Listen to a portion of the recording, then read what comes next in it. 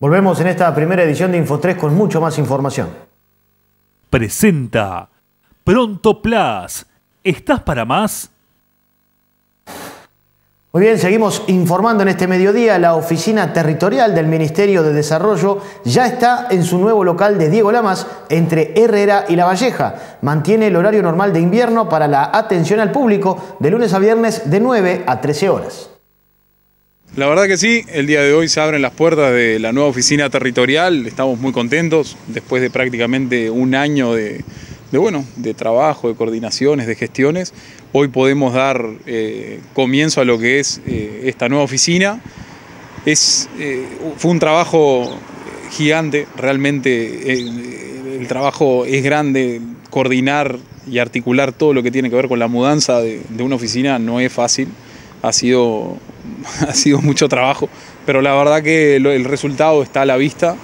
Eh, es un momento creo que también en el cual uno tiene que agradecer. Eh, la Intendencia nos ha dado una mano brutal en lo que ha sido el traslado, la mudanza, la, la, refacción, la restauración de algunos espacios, la pintura de la fachada de algunas salas y bueno, y sin dudas que del ministerio también en, bueno, en tomar la propuesta de, mudar, de, ver de que las condiciones en las que estábamos trabajando eh, tal vez no eran las adecuadas para este momento de, crecimiento del ministerio, tanto para eh, los beneficiarios, las personas que hacen las consultas, como para los funcionarios, que son casi 40 funcionarios y técnicos que están trabajando. Por ende, bueno, hoy todos contentos, abriendo las puertas y bueno, eh, terminando con algunos detalles que quedan. ¿Qué horarios y qué días va a funcionar la oficina? La oficina va a continuar con el mismo horario y los días, va a ser de lunes a viernes de 9 a 13 horas, eh, con su horario de invierno, después en verano se harán algunos ajustes como siempre, pero, pero bueno, ya a partir de hoy trabajando aquí en Diego Lamas 422 entre Luis Alberto Herrera y La Valleja. Es un gran espacio amplio, eh, este, esta zona que tenemos aquí, el predio. ¿Se va a agregar otras áreas, Matías? En realidad sí, son 650, 650 metros cuadrados que, son, que están construidos. Eh, hay programas que tal vez eh, no tenían su espacio físico en la anterior oficina y ahora sí van a poder contar con ellos. Hay actividades, talleres con jóvenes que van a poder ser realizados aquí en la oficina. Eh, valoraciones de los equipos técnicos de Senat, que hacen bueno, todas las valoraciones para las ayudas técnicas, personas que a veces tienen alguna discapacidad o precisan alguna prótesis, también se van a poder realizar acá. Ahora la gira sino, eh, es en el mes de agosto, van a estar haciendo acá las, las valoraciones médicas. Y bueno, eh, la verdad que funcionando... el tema prótesis, ¿quiénes pueden venir y quiénes son los beneficiarios? Las personas que estén en situación de vulnerabilidad y hayan tenido eh, el infortunio de perder un miembro por alguna situación o bueno, de accidente o de enfermedad, pueden eh, solicitar aquí el formulario, el cual es completado por un médico. Dicho formulario luego se carga al sistema y el equipo de Senat hace la valoración. Y bueno, cuando tienen que ir a Montevideo para medir o hacerse la evaluación por la prótesis, nosotros les brindamos los pasajes y van y bueno, realizan todo el trámite a través de, la oficina. O sea, pueden venir, se inscriben ahora. Sí, claro, ese es un servicio que se viene haciendo hace mucho tiempo. Eh, ahora esta edición especial que van a venir por las valoraciones, por lo general eh, contábamos con la colaboración y el espacio de Acrida, que tiene accesibilidad, que tiene lugar, y bueno, ahora eso lo vamos a hacer todo acá, todo lo vamos a centralizar acá. Volvemos a cambiar el ámbito de la información. Este sábado pasado, Rodrigo Barbosa fue ordenado como nuevo diácono de la Iglesia Católica con una masiva concurrencia de los feligreses, lo que genera una instancia de alegría general en los seguidores de esta religión en nuestra ciudad.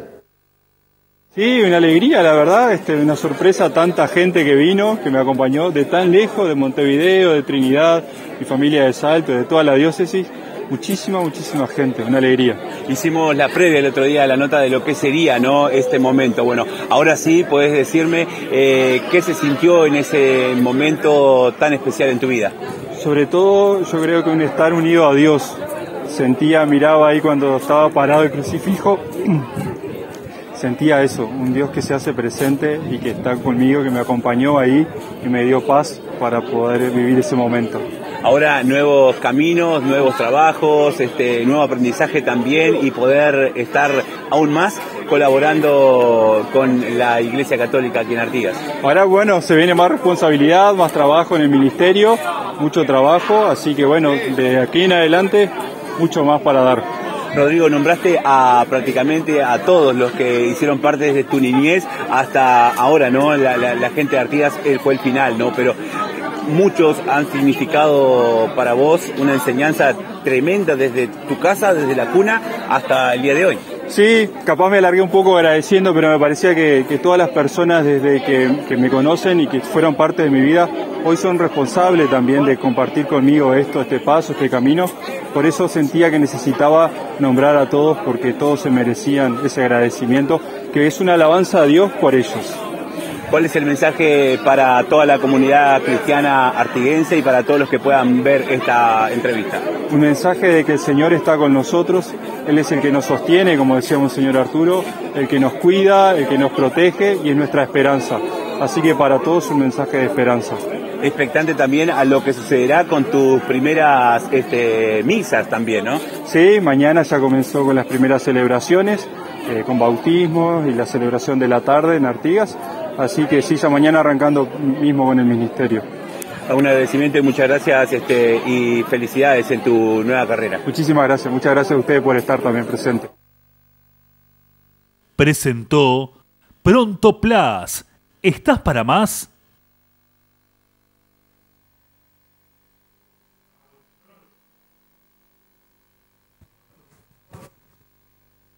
Conocemos el estado actual del tiempo y el pronóstico para las próximas horas.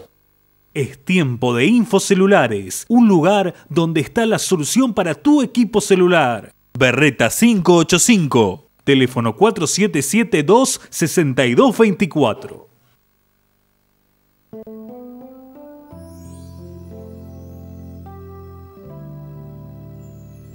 El estado se presenta cálido con cielo cubierto, 19 grados la temperatura, el viento del sureste a 9 kilómetros la hora, la visibilidad 20 kilómetros y la humedad llega al 74%.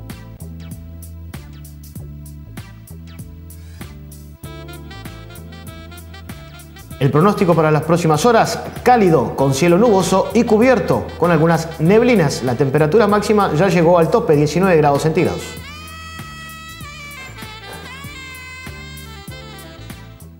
Nos volvemos a reencontrar luego en la edición central y más tarde en 0 a 0 a partir de las 20 y 30. Nos vemos más tarde. Que pasen bien. Buenas tardes para todos.